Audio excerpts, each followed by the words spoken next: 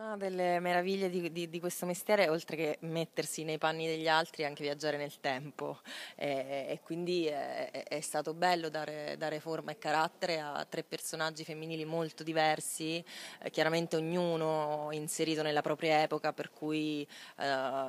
in, in, questo caso siamo eh, veramente eh, una, una, donna che anche lei è molto moderna, perché Bianca in realtà è una lavandaia ma posa come modella eh, nello studio dei più grandi artisti artisti del Rinascimento, per cui è una donna che si è emancipata, eh, ma è consapevole dei propri limiti, per cui quando nasce questa storia d'amore con Cosimo De Medici si rende conto che lei non potrà mai essere la compagna di un uomo potente, di un uomo ricco eh, e quindi an- tornerà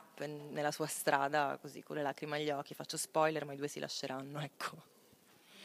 E nella serie, nella prima puntata, abbiamo visto che lei dice mm, a, Cosimo eh, il, diciamo, i soldi eh, sono più importanti dell'arte perché con l'arte lo stomaco rimane vuoto. Da artista, com'è questa affermazione? Come l'hai vissuta? Innanzitutto grazie.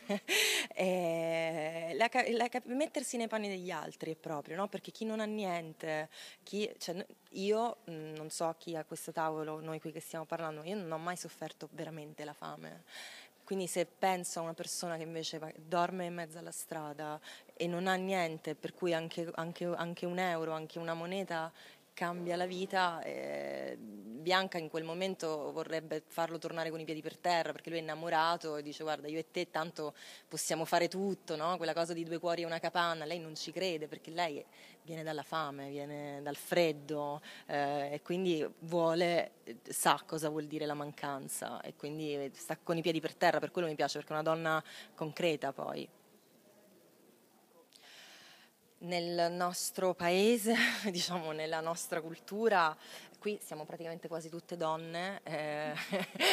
libere che possiamo insomma uscire di casa e in qualche modo determinare e, e scegliere il nostro destino, quindi qui siamo, siamo fortunate, eh, in altre parti del mondo è, è, ancora così, per esempio la, la condizione femminile. Eh, e quindi godiamoci insomma, la nostra fortuna senza darla per scontata, tra l'altro, perché ci sono sempre passi nuovi da fare.